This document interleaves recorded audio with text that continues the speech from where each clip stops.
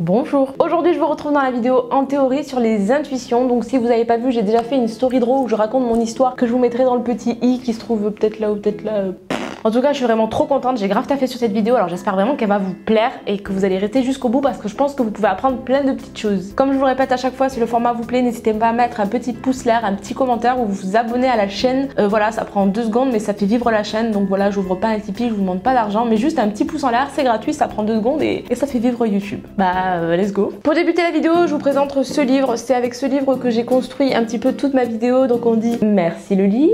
Il est vraiment très simple, très bien expliqué avec des exercices, des jeux, des théories et tout ça et tout ça. Bon, après, quand on voit la couverture, on peut se dire... Euh,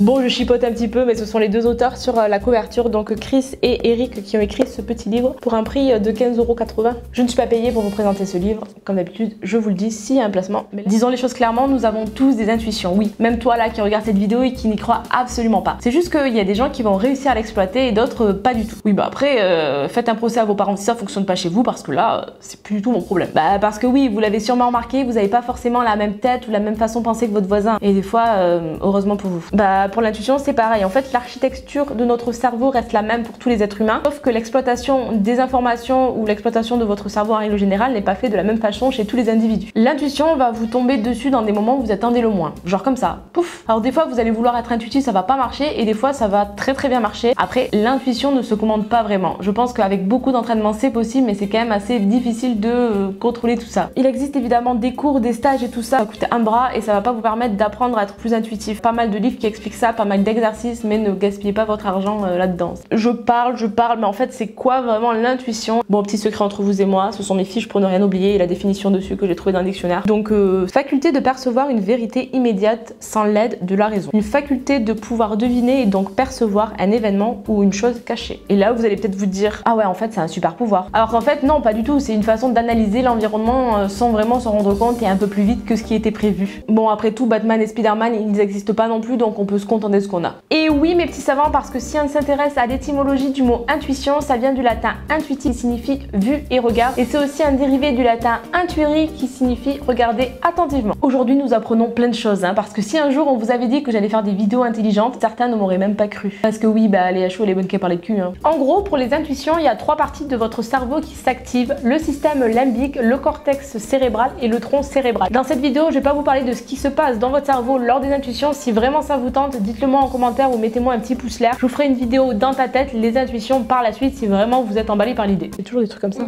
l'air. Je dis pas pouce en l'air, je dis pouce l'air.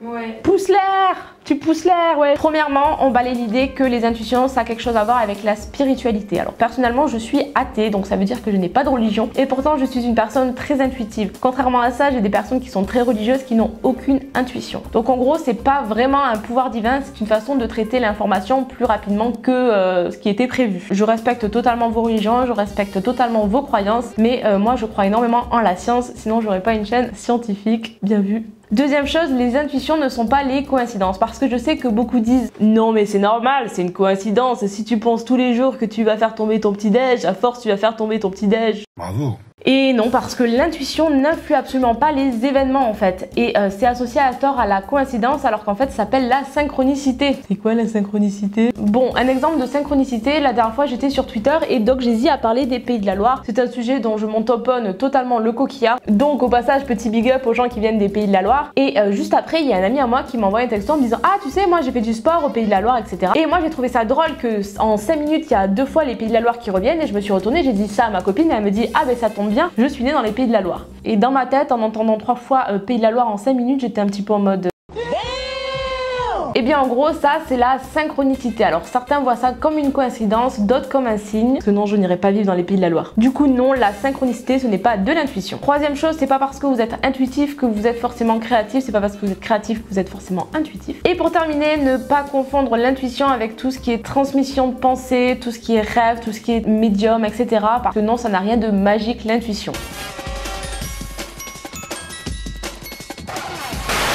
Et j'ai dit non Et je le répète encore une fois, l'intuition ce n'est pas un pouvoir magique, c'est quelque chose que tout le monde a. Toi, moi, toi là-bas qui est sur le canapé que je te vois, tu l'as aussi, tu as de l'intuition. Et eh bien c'est quelque chose qui se fait de façon inconsciente dans mon cerveau, donc non, ça n'a rien à voir avec tout qui est un peu magie. Alors comment réellement définir les intuitions? Eh bien c'est euh, compliqué parce que personne ne les ressent de la même façon. Ça peut être une sorte de sentiment diffus, obsession, d'une évidence. C'est un petit peu à mi-chemin entre l'instinct et le pressentiment. Parce que oui, vous n'allez pas me dire que quand vous allez vous faire larguer à la récré par Jean-Christophe le connard ou Joséphine la vous ne l'avez pas ressenti. Désolé aux Jean-Christophe et aux Joséphine parce que je vous aime quand même. Ou vous allez pas me dire que vous êtes jamais dit quand vous rencontrez une personne, ah, je sais pas pourquoi, il y a, y a, un truc qui passe pas, je la sens vraiment pas. L'intuition, ce sont des hyper conscients d'un événement ou d'une situation qui va se reproduire dans un laps de temps assez court. Ça peut être une seconde, 10 secondes ou des fois une journée, mais ça reste quand même assez rare que ça soit long.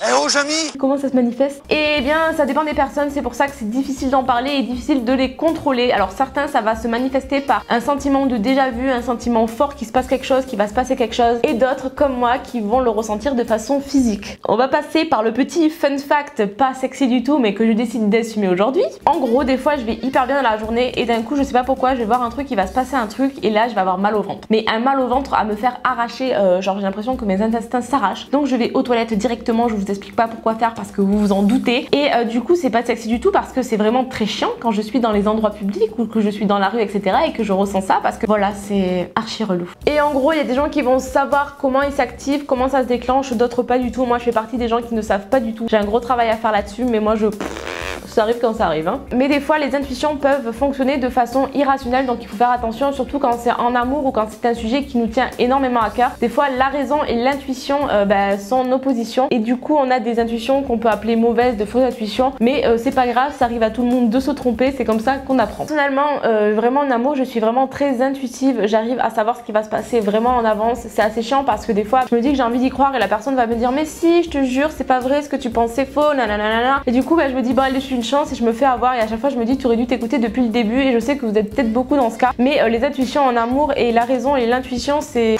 compliqué vraiment quand il s'agit d'amour. Euh, des fois j'ai préféré ne pas être intuitive et me faire finalement avoir sans m'être dit toute seule bah t'étais dit. Parce que quand c'est quelqu'un qui te dit oui bah tu vois je te l'avais dit bah c'est chiant mais quand c'est vous-même qui vous dites bah tu vois Léa je te l'avais dit à toi-même bah c'est deux fois plus chiant. Et je vous jure que sur ce sujet il y a tellement de choses à dire je vous ai pas tout dit parce que ça va durer une plombe mais il y a pas mal de tests de jeux à faire donc pourquoi pas si ça vous tente vraiment ce genre de vidéos et ce genre de sujet faire des vidéos avec d'autres youtubeurs où je les mets un petit peu au défi des intuitions. Bref, revenons à l'intuition féminine, mais vous avez sûrement déjà tous entendu cette phrase. C'est parce que c'est mon intuition féminine. Eh bien, c'est une idée reçue parce qu'on a tendance à dire que les filles sont plus intuitives parce qu'elles sont plus d'un côté émotionnel et plus à l'écoute de leur instinct, alors que les hommes sont plus rationnels et pragmatiques. Mais euh, des tests ont été faits et les femmes sont autant intuitives que les hommes, donc désolé mesdames, nous n'avons pas le ménopole de l'intuition. Et la dernière phrase pour terminer cette vidéo, c'est surtout ne pas confondre les intuitions et les préjugés. C'est encore une fois deux choses différentes. Voilà, je pense avoir fait le tour. J'espère que cette vidéo vous aura plu. Je vous avoue qu'à tourner, ça a été un calvaire parce que c'est hyper difficile à, voilà, tout essayer de remettre en place, d'essayer de vous expliquer de façon simple, à ne rien oublier et tout ça et tout ça. Donc voilà, n'hésitez pas à mettre un petit pouce vert, à commenter et à partager la vidéo ou à vous abonner si ça n'est pas déjà fait. Je vous fais des bisous et je vous retrouve à la prochaine.